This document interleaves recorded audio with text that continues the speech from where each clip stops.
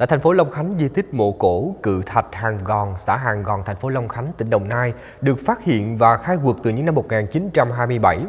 Xoay quanh về ngôi mộ cổ này vẫn đang thu hút sự quan tâm của giới khảo cổ học và người dân đến tham quan tìm hiểu về bí ẩn của ngôi mộ này.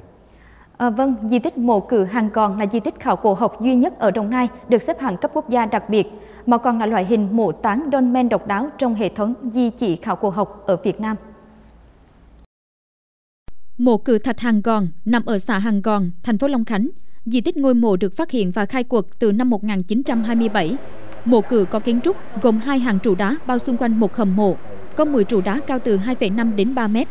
Hầm mộ cự thạch có kích thước 4,2 mét x 2,7 mét và cao 1,6 mét. Hình hộp ghép bởi 6 tấm đá hoa cương được bào dùa khá nhẵn, nặng hàng tấn. Riêng nắp mộ cổ ước tính gần 10 tấn. Có nhiều phiến đá lớn bằng phẳng, xếp cân đối, tinh tế, khoa học, đặc trưng của nền văn minh người xưa. Hàng năm đã thu hút rất nhiều khách đến tham quan, tìm hiểu, khám phá về kiến trúc độc đáo của ngôi mộ cổ này. Thì à, với những cái tiềm năng hiện tại thì theo em nghĩ nếu mà được phát triển hơn thì à, cái mộ cổ thạch hàng gòn này à, sẽ là cái điểm đến du lịch à, nghỉ ngơi cũng như là Ờ, phát triển về cái văn hóa hoạt động của người dân cũng như là khách tham quan đến để mà giao lưu và giữ những ờ, phát huy những cái giá trị văn hóa di sản văn hóa về cái khảo cổ học qua quá trình phát hiện, khai quật, khảo sát xung quanh ngôi mộ đã phát hiện dấu vết của những vệt đất cháy kéo dài thành hình vòng cung, có rất nhiều xỉ kim loại. Các mảnh đồ gốm trên thân có hoa văn làm từ chất liệu đất sét và cát. Phát hiện hai chiếc tủ bằng đồng và hai chiếc bàn mài bằng đá có lỗ đeo và nhiều công cụ lao động. Qua đó cho thấy người xưa đã vận chuyển những khối đá lớn về hàng gòn để gia công tạo ra những tấm đan, cột đá sử dụng cho kiến trúc mộ. Để có được những tấm đá hoa cương lớn và những trụ đá dài nặng hơn hàng chục tấn để kiến trúc hình thành ngôi mộ này. Theo như mà cái nguồn đá này thì hiện tại ở tại địa phương đây thì không bao giờ có. Nhưng mà theo ờ, những người đã lớn đi qua rồi, người ta kể là cái nguồn đá đây từ Ninh Thuận, Bình Thuận đưa vô. Mà chắc có lẽ là ngày xưa kia là dùng bằng bằng voi có thể một tảng đá người ta đưa đi, đôi ba tháng mới tới chỗ.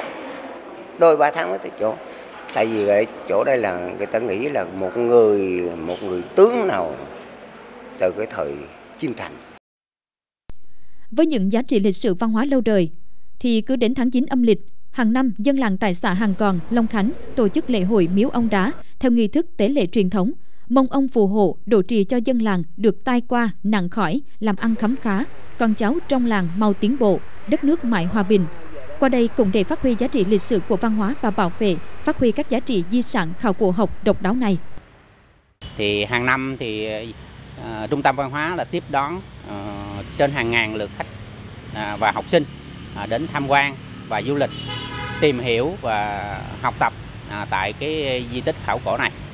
Thì à, ngoài ra thì Trung tâm Văn hóa, Thông tin và Thể thao thành phố thì còn phối hợp với các ờ, sở ngành của tỉnh và thành phố tổ chức các cái cuộc thi tìm hiểu về cái, các cái giá trị di tích lịch sử của cái mộ cổ, cũng như giáo dục cái truyền thống và lòng yêu nước của quần chúng nhân dân góp phần cái như là giữ gìn cái bản sắc văn hóa dân tộc cũng như là phát huy cái di sản của cha ông ta để lại.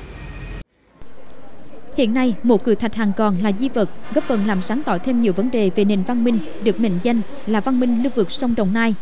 Ngoài ra, mộ cử thạch hàng còn là địa điểm về các nhà khảo cổ học và người dân đến tham quan để tìm hiểu, nghiên cứu về quần thể di tích độc đáo này, vì nó còn ẩn chứa nhiều điều chưa biết.